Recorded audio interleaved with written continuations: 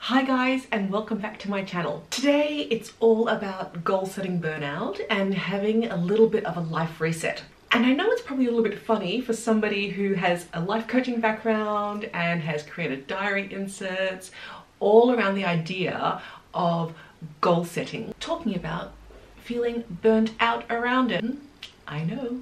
What I really want to do is sort of share with you the occasionally negative experience that you can have when you are constantly looking forward at what you can improve and what you can change and what you can create in the future at the expense of not being present in the now. And that can be really great for those of us who are overthinkers, who are perfectionists, who worry a lot. Those of us who are like at the movies and sitting there paying bloody 20 something dollars to go and watch a film and you're sitting there going all of the things you haven't done, what could you do better, and all of that inside of your head rather than being totally present in the moment and enjoying the situation. And that can really feed into those feelings of not being worthy enough, not feeling like you're deserving. And man, that is a horrible feeling and all of this striving activity can really chip away and undermine if you have a tendency to feel that way. In this transition time where the last few months have really been about sort of who am I again, what do I want, what do I want to craft into my life, I felt like I got, got really burnt out of number one the goals because I didn't know if those were really the things I wanted, if they were still priorities for me and, you know, I just, I just got sick of looking at all those things forward, not being able to connect in now with self and allowing myself to notice what was really going on, right? It was so much living in the future, so much living in to-dos, as opposed to experiencing now and what's going on inside, in here, in here. I felt really burnt out and I felt really negative towards creating future. So I gave up. I felt burnt out, I didn't feel good about myself, I didn't know what I wanted, um, and so I decided to take a break from all of that. Of course, there are things you need to do to just make life happen, but I didn't want to be focusing on all the could be's, should be's. I wanted to really focus on experiencing the moment and just noticing more about what lit me up, what made me feel constricted and icky, thought that was a good place to start. So burnt out of goals and decided to start afresh. Reset, draw a line in the sand. Because I felt like I wasn't visioning from a from a clean slate. I wasn't visioning and dreaming from a place of true desire and true want. I felt that I was visioning and doing stuff from a place of lack, of scarcity, of icky feelings. So I decided to try to switch all of that off try. I took a few months off of planning and it felt great. If you were able to spend some time, and it could be a week, it could be a couple of weeks, it could be a month of giving yourself permission not to strive so hard, just noticing what makes you feel expansive and lit up and uh, excited and motivated and inspired and what really just makes you feel like crap and not have to do anything with that information yet. Because when you come back from your enforced period of non-striving, non-building, non-dreaming, because then you can come back with a lot more useful information about recreating intentionally again and hopefully this time from a place of your true desires. And next part of it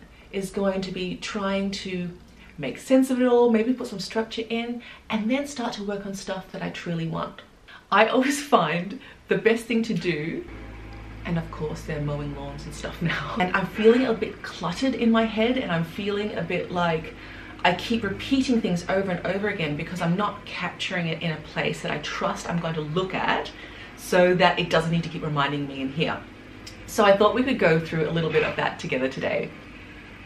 So first of all, I find that before I, I sit down and want to brain dump and get all the stuff out of my head, it is to declutter or tidy up some of my physical space. But Poppy's room at the moment is what is kind of dragging my attention. Before I start to clear this up, I want to channel a little bit of my energy to clear up a space because that frees me up to know that something has been done.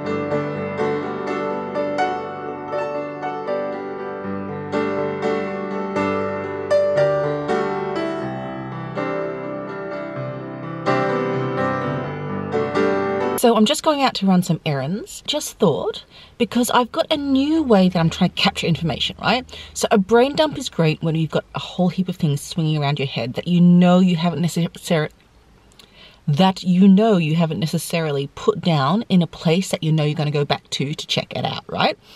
So, you know me, I am generally a paper planner girl, but I'm realizing that I'm not really carrying my planner around.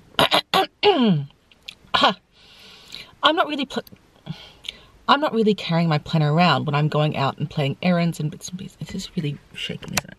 I'm not really carrying my planner around when I'm going out and about. So I'm thinking that it's time to swap over to complement my paper planning system with the digital age because I always have my phone on me, right? Almost always. I often listen to podcasts. See, I've got my headphones in already.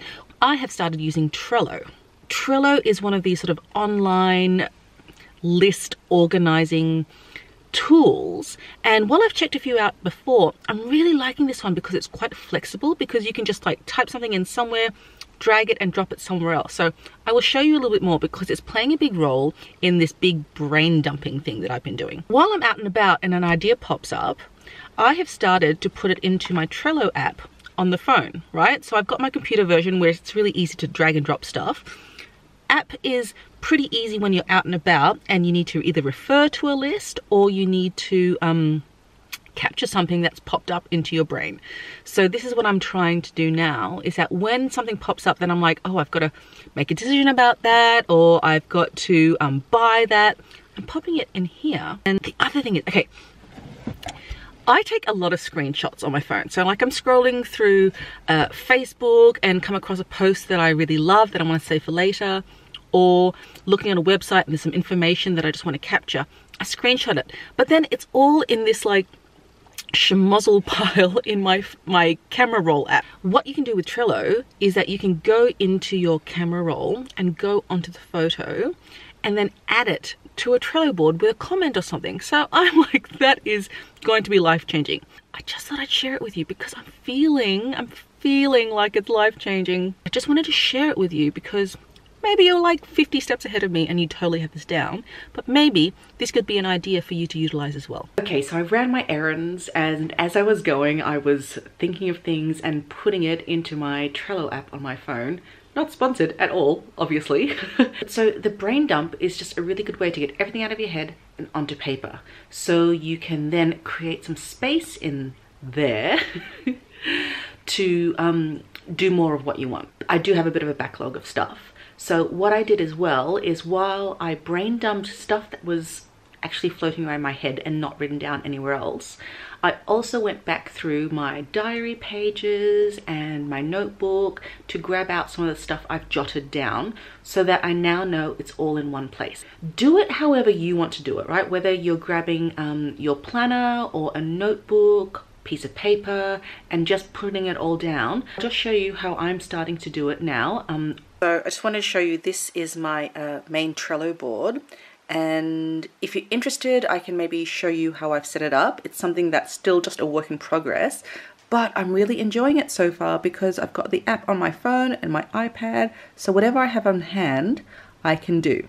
To do sort of brain dump I've got this capture all board. So and this first board is pretty much brain dumping all the different things, right, that have been in my head, that are floating around, that I found in notebooks, that I want to make sure that I have captured somewhere easier. And that's what I'm finding at the moment. It's just a bit easier um, to have it digitally because I can like delete things, I can move things around, and so on. For myself, I've decided to color code a little bit so I can kind of see, you know, yellow is for errands, uh, pink is for content, uh, green is for work, contact, home, and so on. And what I've done is in this initial one, that's where I brain dump everything bit by bit, put it all there, and then I can move it to either to do now, so that this is pretty much to do this week, to do next week, to do soon.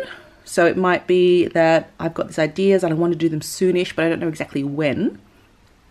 I've also got a board called waiting on. So if I have asked somebody to do something or I'm waiting on them to get back to me with some information, it's right there. And then I think I've got a couple more boards this way. Yeah, someday maybe, a doing and done. Um, because, you know, it feels good to put things in that pile too. So I'm just finding this a really nice way to get things out of my head. I have another board that I've got, which is the master to-do list board. So if you know from my Life is Crafted pages, I have some master to-do list uh, inserts and I categorize them by, you know, home, finances, and so on. So in my capture all board, if I am sort of thinking of things that might be, okay, it's not to do now or next week or to do soon, it's a someday, at some stage I want to do it, um, but don't know when, could be next year, could be in a few years' time, they would then go into my master to do list. All right. So this has just been a really great way to get it out of my head to be to look intentionally at these things, right? To see whether they're still relevant or not, and then to start either scheduling them.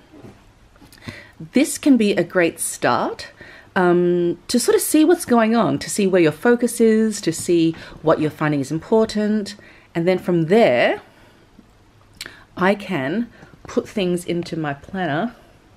Zander's here as well right? So I know, okay, so for next week, I can still categorize because I do like categories. It, it organizes to do so they're not in such a big random list. And then I can start to prioritize what I want to do on each day right? And so then these to dos are not clumped up with the gazillion things going on. Because I used to just capture a lot of stuff here as I was thinking about them as well. So instead of going to doing that and cluttering up my week and perhaps distracting me from actually what I've chosen to do and what's important, I'm going to be leaving them here. Carve some time out for yourself. Get a clear mind because then you will have a lot more clarity about what's important and where you want to go with it. I want to do some painting. I want to get creative again. I want to um, make my house more of a home. And this is then when you can start to see what potential future goals you might want to come up with. The power of doing this and getting it. I don't know how many times I've bloody said getting it out of your head in this video. So once you've cleaned up some space to get yourself into the mood of decluttering your mind as well, and you've done your brain dump, you should be able to easily work out your weekly schedule or what's important for you to do today or tomorrow or over the next few days. And then you can feel comfortable in trusting yourself that you have a place where you've put everything of importance down and that you can add to it as it go as you go um, and then do your scheduling from that. And then really at this stage, if you're feeling like it, you can go on towards doing some life goal setting, some wish lists, perhaps creating a be, do, have list for yourself. Now that your mind is a little bit more empty and hopefully you're feeling inspired to craft more of your life. Hope you've enjoyed the video. Make sure you give it a thumbs up and if you haven't already, feel free to subscribe for more videos like this.